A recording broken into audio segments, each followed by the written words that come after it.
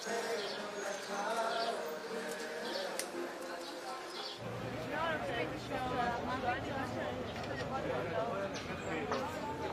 so people are definitely still gathering and individual.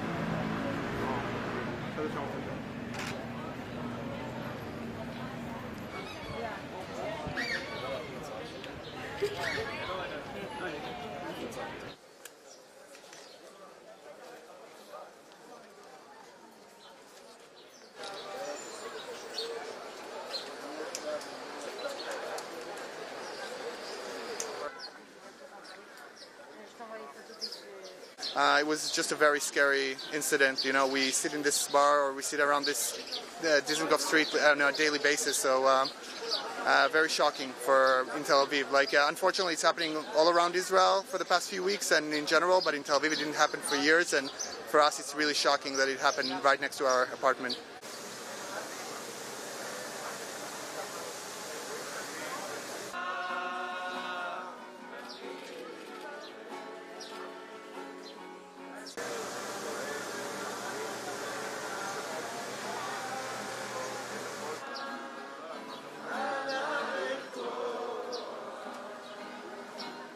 So uh, I was about 50, 150, 200 meters in a bar next door.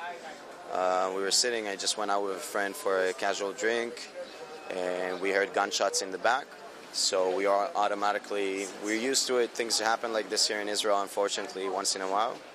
So we started seeing everybody run and get into a panic. We went inside the bar, tried to help people uh, get into the bar as well.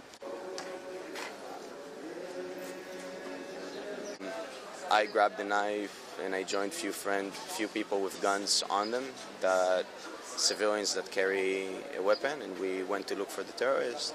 At a certain point, I realized that I'm with a knife, and so I will be a liability.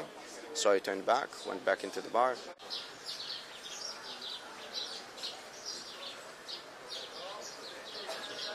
And it's it's a dreadful thing. I mean, it's a it's something that repeats itself every now and then.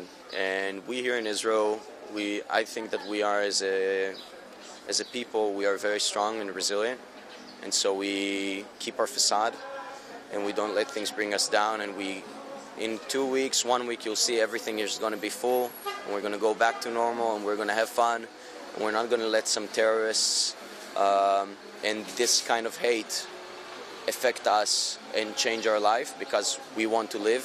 We worship living. We worship the joy, and we want to continue and do that.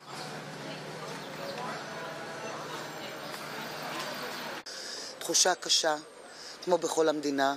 אנחנו אה, פגועים ונפגעים מהפיגועים האלה, במיוחד מפני שהם גם משרתים קיצוניים ופוגעים בנו לקראת החגים.